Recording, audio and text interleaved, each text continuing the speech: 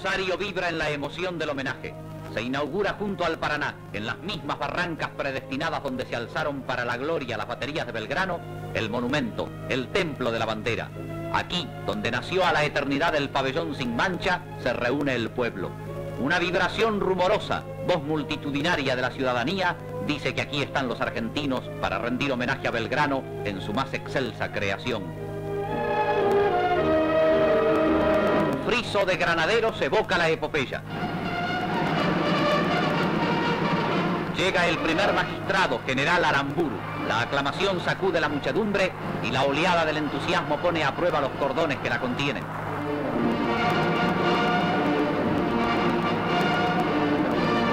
El obispo de Rosario, cardenal Cayano, bendice la enseña que habrá de ondear en lo alto.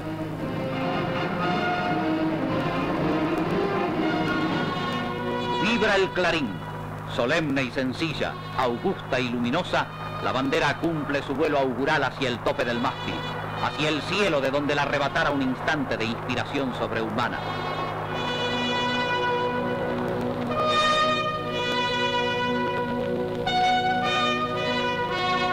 La estampa evocativa de un patricio subraya el reencuentro del pasado con el presente. Palomas blancas, a las que un trazo azul transforma en banderas vivas, cubren el horizonte en cálida armonía de firmamento y sol.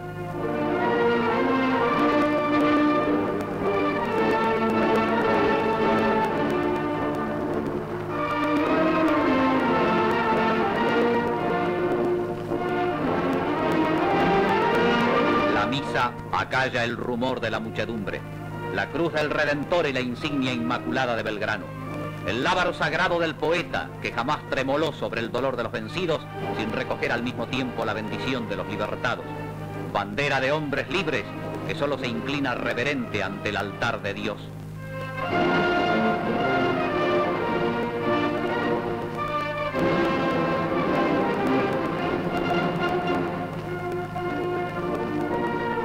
Acompañado por el vicepresidente, rodeado por sus ministros y por los representantes de América toda, el primer magistrado habla al pueblo de la patria y a los pueblos hermanos del continente. Su mensaje refirma una vocación de libertad nacida con el país mismo. Ante el severo basamento de líneas clásicas, los diplomáticos americanos rinden homenaje al pabellón de Belgrano, a la bandera que San Martín eternizó en la gloria sin parangón de su epopeya, al blasón generoso de una progenie que valora su grandeza por la honra y jamás puso los ojos en la heredad ajena.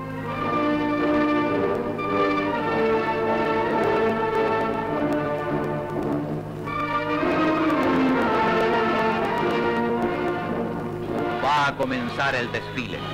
El sol, que no quiso faltar al instante solemne de levantar el pabellón, se vela en el cielo para brillar en charreteras y entorchados y destellar en el esplendor de las banderas. Abren la marcha los cadetes del Perú, cordial embajada con que el pueblo hermano adhiere a la celebración. Avanza gallarda la juventud peruana, rindiendo su homenaje al blasón fraterno.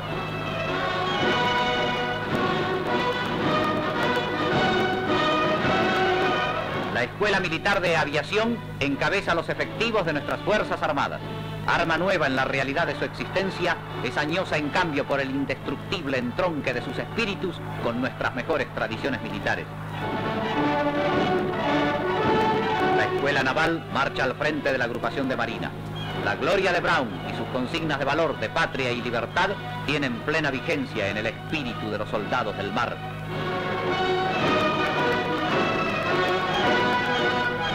Colegio Militar de la Nación, pasado y presente, el Ejército Criollo de la Independencia, el bravío Escuadrón de la Montonera y la moderna disciplina castrense se aunan en estos dignos representantes del ejército de hoy.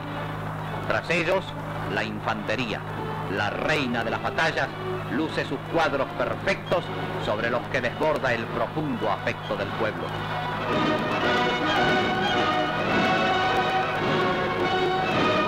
Un retumbar de escuadrones anuncia el paso de los granaderos de San Martín. El trueno tiene resonancias de historia. Jinetes de asombro, sus mayores arrasaron la opresión como tromba incontenible de centauros y de corvos.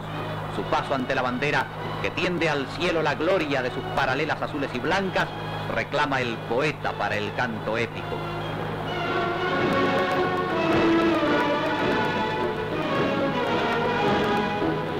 Jornada en la que el pueblo ha vibrado en el reencuentro con las esencias más puras de la nacionalidad.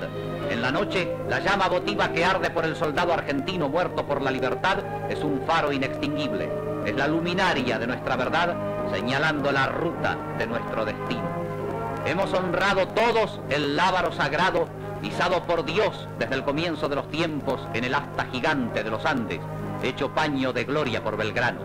Hemos evocado, hermanados en liturgia de amor, la hora luminosa en que flameando al tope de un mástil, la bandera nos dijo que había nacido, joven y eterna, generosa y fuerte, libre y altiva, la patria bendita de los argentinos.